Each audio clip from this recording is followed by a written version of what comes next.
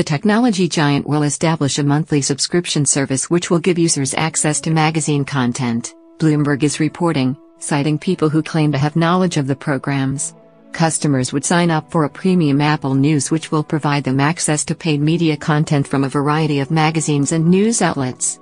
Apple would discuss a portion of that revenue with those publishers, the report states. Apple has its sights set firmly on the media sector, according to another report.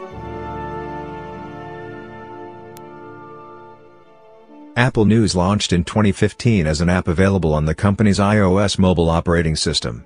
From the app, users can search for content from a variety of sources. Users can also subscribe for free to content to always see the latest from a respective publication.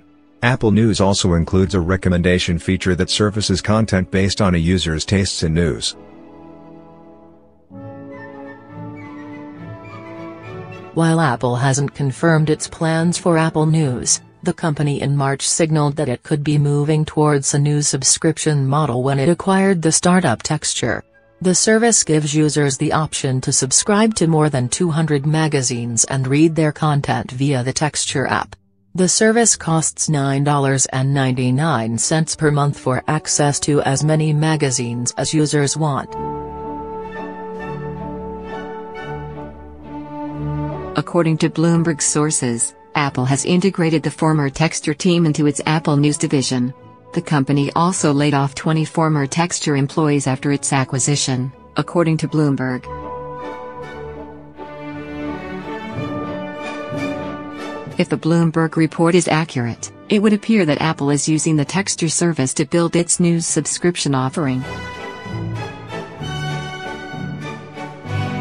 Still, questions abound. According to Bloomberg's sources, Apple's service will launch sometime later this year, but exactly when is unknown.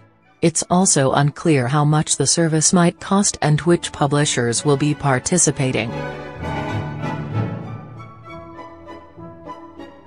Apple will be holding its annual Worldwide Developers Conference in June, where it typically announces new software and services. It's possible the company could shed some light on its news plans at that event.